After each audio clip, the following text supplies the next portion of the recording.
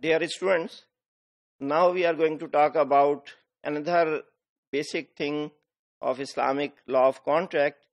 It is called as khayarat, which means options. फुका कराम ने ये मद्देनज़र रखते हुए कि मुहायदा करते हुए अगर कोई फरीक ये महसूस करे कि उसे इस मुहायदे के नतीजे में कोई नुकसान पहुँच रहा है तो उसमें गुंजाइश रखी गई है कि वो उसका अजाला कर सके।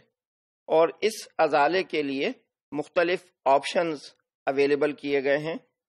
इन ऑप्शंस का नतीजा ये होता है कि एक पार्टी अगर चाहे तो मुहादे को कैंसिल कर सकती है और अगर कोई चीज़ खरीदी गई है तो उसे वापस कर सकती है।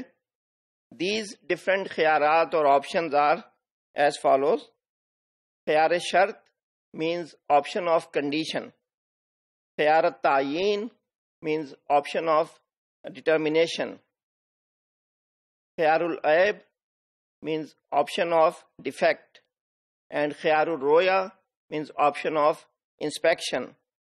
Khiyarul wasf means option of a defined feature or characteristic. And khiyarul ghaban means option of cheating or fraud. These khiyarat are established either through the rules of Sharia or they are agreement between the parties. यानी इनमें से कुछ options वो हैं कि जिनकी हमें तस्दीक अहादीस से मिलती है या कुरान की आयात से हमें उसके लिए एक सबूत मिलता है और बाज वो हैं कि जिनमें गुंजाइश है कि पार्टीज़ आपस में नेगोशिएट करते हुए इस तरह के ऑप्शंस इख्तियार कर सकती हैं। इन ऑप्शंस में सबसे पहला जो है, वो है ख्यार शर्त, यानी option of condition it refers to the option which one party और both stipulate the right to revoke the contract within a determined period of time यानी एक पार्टी दोनों में से एक मुतन वक्त के अंदर अगर चाहे तो मुहादे को खत्म कर सकती है। और वो वक्त कितना है, इसके बारे में फ़ुका इकराम की राय यह है कि ज़्यादा से ज़्यादा ये वक्त तीन दिन तक हो सकता है, इससे ज़्यादा नहीं। तीन दिन के अंदर अंदर अगर कोई कंडीशन रखने के बाद उस मुहिदे को खत्म करना चाहे तो कर सकता है। और इसके लिए बुनियादी शर्त यही है कि the other party must have accepted this condition मसलन, अगर एक चीज़ खरीदी जा रही है और खरीदार ये कहे कि अगर इस चीज़ में कोई नुक्स निकला तो मसलन मैं दो दिन के अंदर आपको वापस कर दूँगा और बेचने वाले ने ये शर्त कबूल कर ली तो बायर को ये इख्तियार हासिल रहेगा कि वो चाहे तो दो दिन के अंदर चीज़ को वापस कर सके।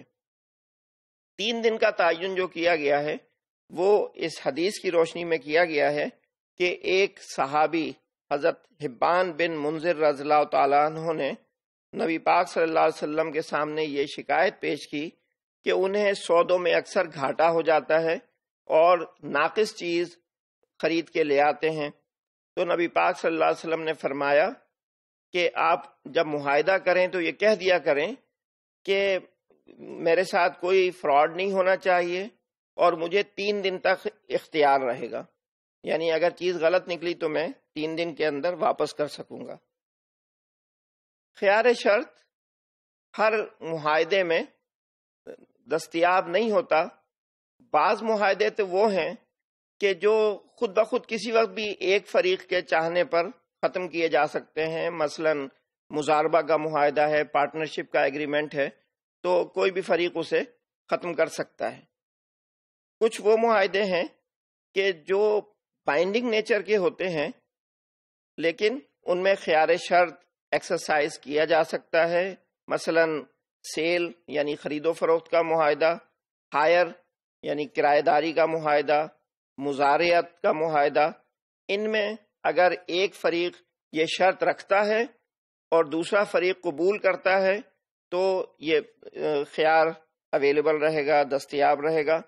लेकिन कुछ मुहिदे ऐसे हैं कि जिनमें ख्यार शर्त की गुंजाइश नहीं होती मसलन निकाह और तलाक के मुहिदे सर्फ यानी करेंसी के तबादले के मुहिदे सलम यानी एडवांस कीमत के अगेंस्ट किसी मकदार ज़रूरी पैदावार की मकदार का मुहिदा इस तरह के माहों में ख्यार शर्त दस्तियाब नहीं होता और, जो भी माहिदा तय होता है उसी के मुताबिक दोनों पार्टियों को अपना अपना किरदार अदा करना पड़ता है।